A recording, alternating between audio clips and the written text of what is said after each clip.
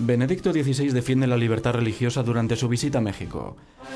Un mensaje implícito pero muy directo para la clase política del país que debate una reforma legislativa para autorizar a que la Iglesia Católica participe en la educación pública y pueda disponer además de medios de comunicación propios.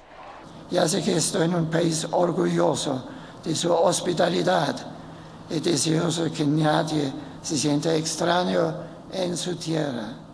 Lo sé, lo sabía ya pero ahora lo veo, lo siento muy dentro de corazón.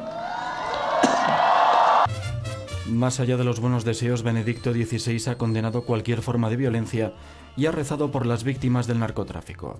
Una guerra abierta entre el gobierno y los cárteles de la droga que se ha cobrado la vida de 50.000 personas en cinco años. El Papa centra su primera visita apostólica a México como pontífice en Guanajuato, uno de los pocos estados del país que prohíbe el aborto, salvo en casos muy excepcionales.